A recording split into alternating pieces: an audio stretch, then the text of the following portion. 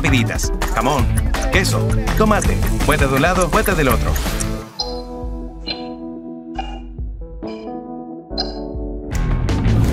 En 3, 2, 1, rapiditas y a disfrutar.